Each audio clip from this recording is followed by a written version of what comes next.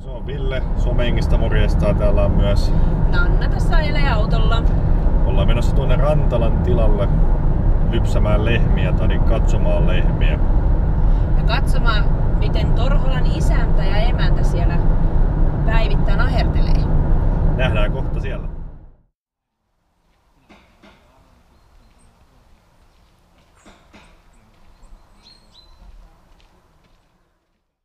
Ollaan pellolla tota, Rantalan tilalla ja Torholan isäntä ja emäntä on tässä mun vieressä. Ja kysytään heitä vähän tästä työmaasta, eli teillä on lehmiä. Kyllä. Onko teillä muita maatalousjuttuja? No siis meillähän on niin maitotila, niin meillä on se pääbisnes on tämä maitotalous ja lehmät. Ja tota, totta kai meillä on sitten peltoviljelyä. Suurin osahan on siitä, tuotetaan näille kyseisille omille lehmi, Nelijalkaisille. lehmille niin Mm-hmm. viljaa ja äh, säilörehua.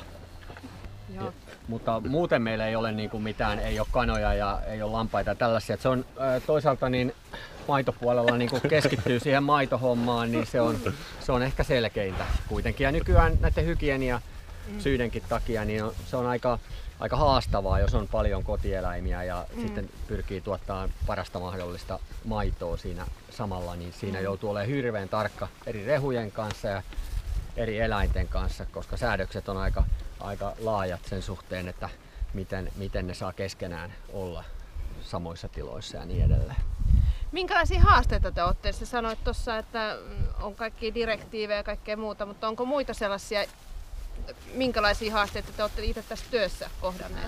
No kyllähän tässä työssä niin kuin, tätä on niin kuin, tosi paljon, että, että kun ajattelet pari, kaksi ihmistä, isäntä ja emäntä, tätä pyörittää, niin kyllähän mäkin olen ollut kaupungissa, ollut, olin pitkään töissä, töissä pankissa, pankissa ja toimistotöitä olen tehnyt ja silleen, niin tässä on kyllä niin paljon hommaa, että täällähän pystyisi pitämään niin kuin helpostikin niin kuin viisi, viisi tai ainakin viisi ihmistä töissä, että kyllä mä Mm. jokaiselle keksisin koko ajan eikä tarvitse edes keksiä niin töitä, mutta se vaan just, että maksukyky ei, ole, ei mahdollista sitä. Et sehän olisi tosi hieno ajatus, että tämmöinen tuottaisi niin paljon, että pystyisi sitten tuoda alueelle, alueelle sitten niin kuin työllisyyttä.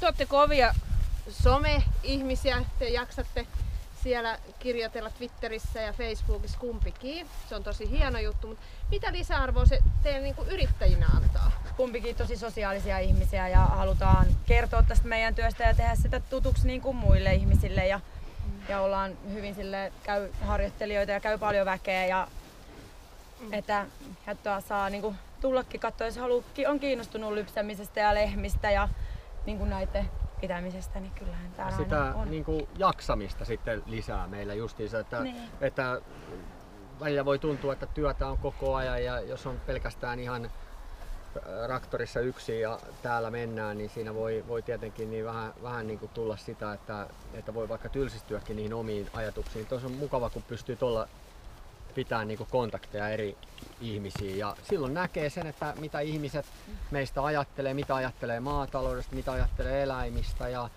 ja se on niin kuin molemmin puolista se oppiminen siinä.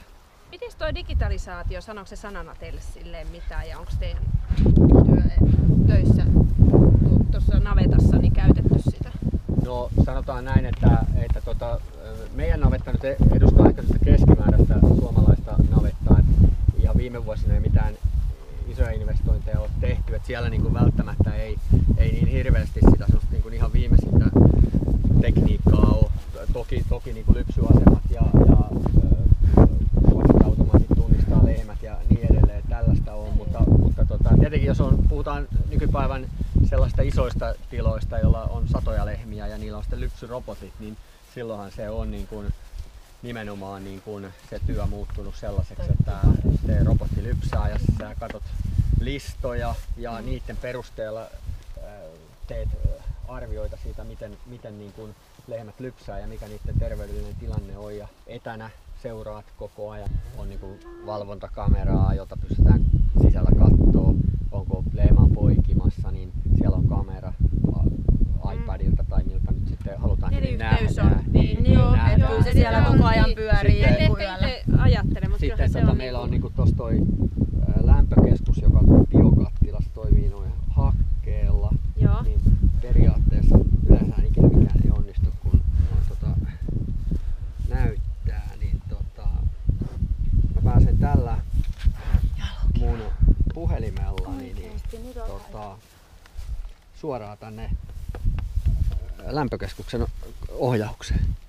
Eli Joo. se on tuossa rakennus. Niin mä pystyn tästä, niin kuin, jos mä painelen, niin mä pystyn säätää tota pannua ihan täysin. Käykö tää, helpottaako tää teidän elämää sillä, että voi vähän irrottautua tästä tilasta, että tiedätte? No tämänkin osalta niin on sillä hyvä tietenkin, että ettei me tarvitse aina mennä kattoon, kun se on niin hakkeella Niin. toimiva biokattila, niin aina puulämmityksessäkin pitää olla varma, ettei siellä pääse tapahtuu mitään. Niin mä pystyn tästä esimerkiksi, kun mä kävelen aamulla navettaan, mä pystyn Niin. katsoa, että jaha, että kattilan lämpötila ja muut on näin. Ja periaatteessa näen, että se prosessi on niin kuin kunnossa. kunnossa. Kiitos teille Torhola isäntä ja emäntä. Tämä on tosi Kiitoksia. avaavaa myös tällaisille, tällaisille kaupunkilaisille, joilla ei ole lehmiä. Juu, ei. Ihan ilo oli meidänkin puolella ja seuraavalla kerralla sitten ne siemennykset ja lapset.